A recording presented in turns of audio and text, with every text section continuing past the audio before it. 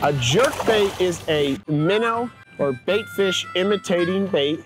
It's long and slender.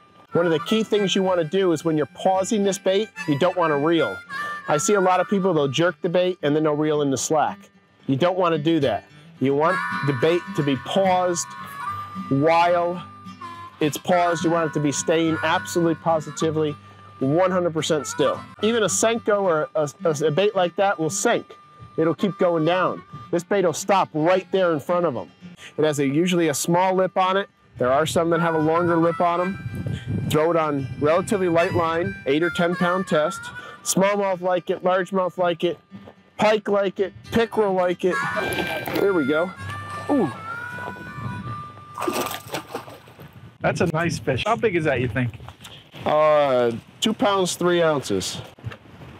I was wrong, two six. Huh? Close.